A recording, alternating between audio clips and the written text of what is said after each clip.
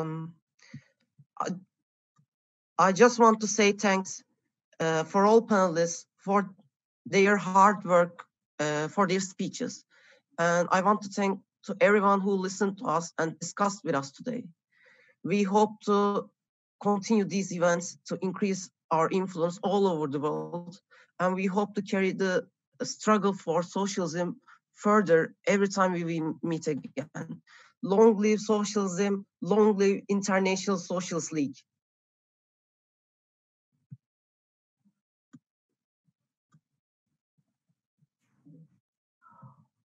Omer. Gracias, Denis. Omer, de la lucha de Pakistán. Uh, thank you, comrade. Uh, the, like uh, the earlier comrade uh, from Turkey said, there's uh, nothing much to add. Um, as I gather from uh, the reports that I heard today, I think we the, the the fact that we are all in this together was refreshed for me and for all of us. And uh, and this uh, global pandemic, when uh, where it has a um, is killing us both physically and spiritually.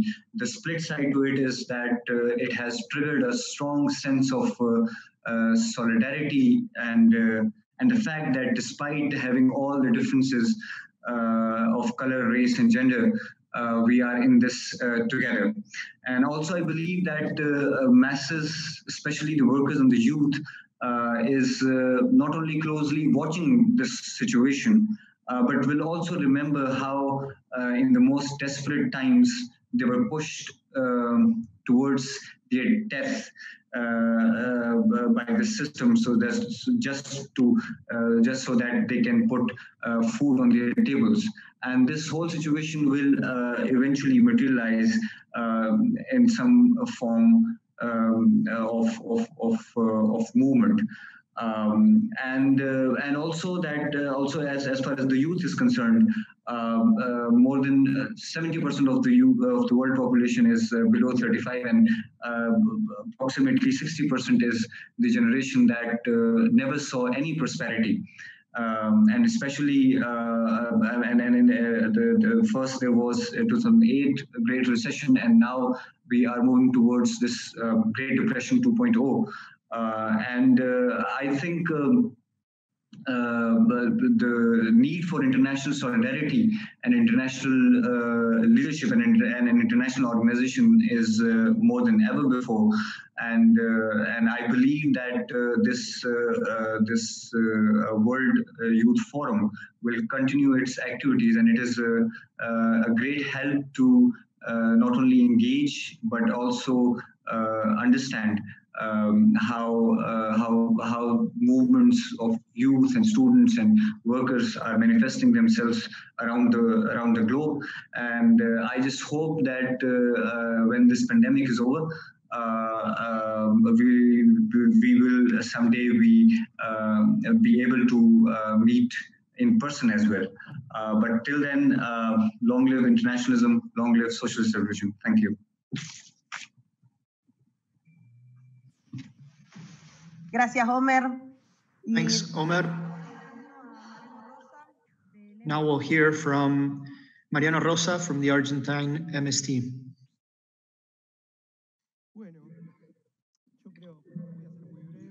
Well, I will be very brief. I think the event was very enriching, very representative.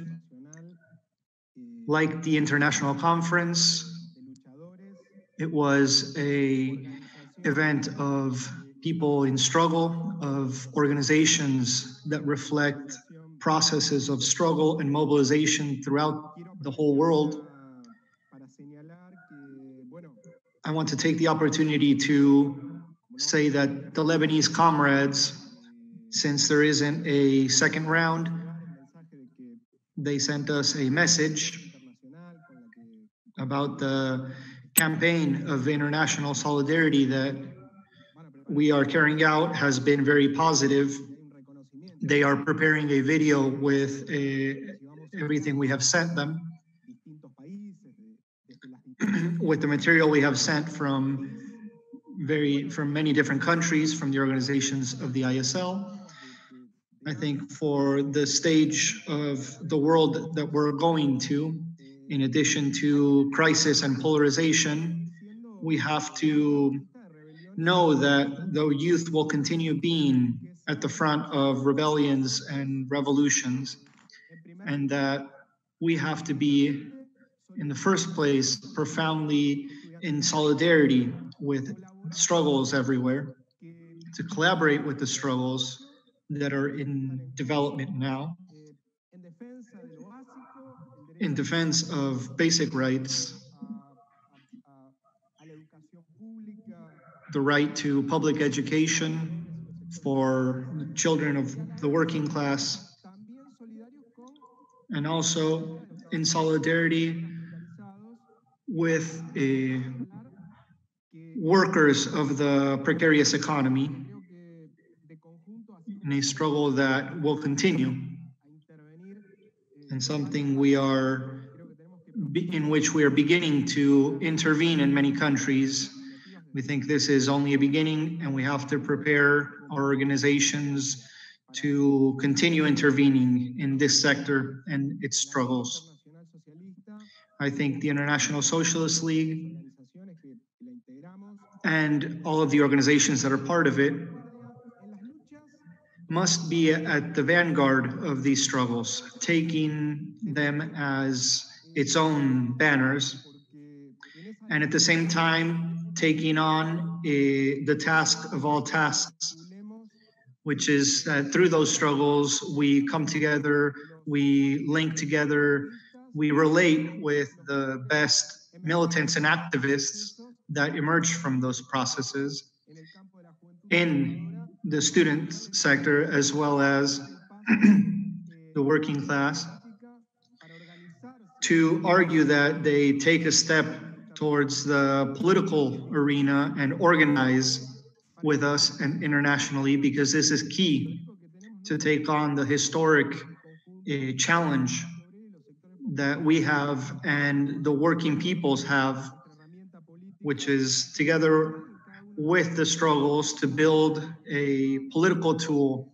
in our countries and internationally to fight for the power of the working people, for a government of the workers to take on the transition to socialism and the, the society we strive for. We have our youth manifesto, which is a great tool to take to workplaces, to places of study, to make well known in the social media, which has analysis, which has proposals.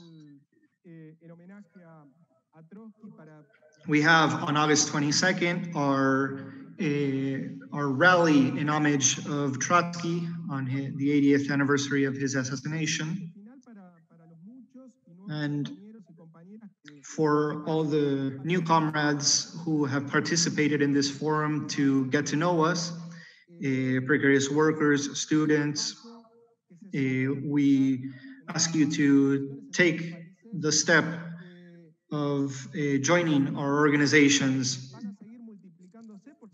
because the struggles will continue to multiply because capitalism attacks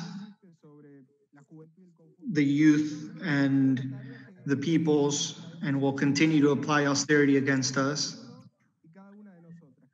And the decision to uh, build a, a, political tool is a conscious and voluntary, voluntary decision uh, that is necessary to build this and fight for a, an egalitarian society.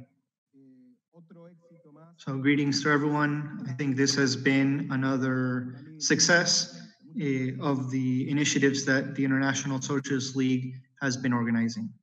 Greetings to all.